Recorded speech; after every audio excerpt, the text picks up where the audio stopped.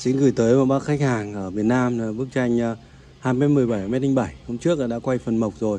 Và hôm ờ, sơn lót thì để ngửa ra quay thì bác ấy kêu là bức khác. À, Nhưng xin nói với quý vị là chúng tôi không bao giờ làm ăn như thế đúng không ạ? Bước nào thì bảo bước đấy nhưng làm sao mà đưa bước khác được. Chẳng qua là khi mộc với khi hoàn thiện thì nó phải khác nhau.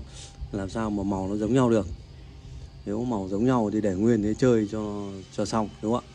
Đây chúng tôi phải tắm trắng đi. Tắm trắng tắm đen thì cho nó trắng trắng trẻo đẹp dai đi. Xong chúng tôi mới sơn lót ba lần. Xong trà đi từng khe từng kẽ một để cho nó nhẵn để sau này quý vị quét bụi cho nó dễ.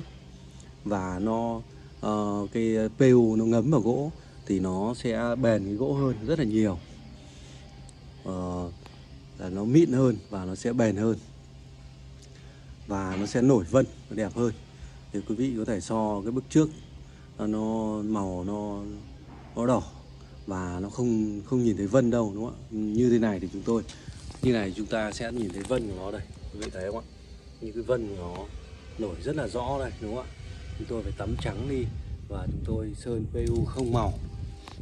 Cái màu đỏ đỏ này là màu tự nhiên của gỗ, quý vị nhé thì chúng tôi không cho một tí màu nào vào đâu đây là màu tự nhiên của gỗ luôn đấy đúng không ạ?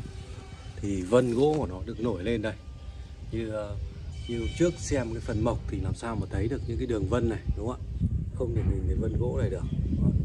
Đó. và những cái đường nét đục chạm thì vẫn giữ nguyên vẫn đẹp dài, đúng không ạ?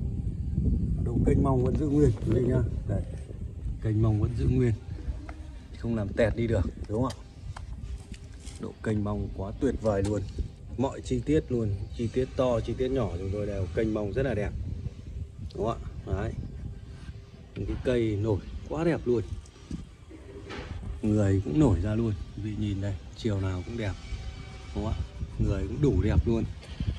Cây cũng đủ đẹp luôn. Đấy. Thì à, cái tấm tranh à, hôm trước phần mộc thì chúng tôi chỉ có làm đẹp lên thôi chứ không thể làm, không lấy tấm khác làm cho bác được. Nên là bác yên tâm nhá hình ảnh y hệt luôn đây làm sao mà thay đổi được. Chúng tôi nói uh, tấm nào là phải làm tấm đó. Nên uh, quý khách nên uh, tin tưởng vào chúng tôi chứ không nên nghi ngờ đúng không ạ? Khi uh, hàng đến tận tay rồi thì nó sai phạm nó sai khác thì quý vị mới nên uh, chỉ trích. Đây là chúng tôi lúc chụp ảnh nó để ở góc độ khác thì nhìn nó phải khác làm sao nó giống nhau được đúng không ạ?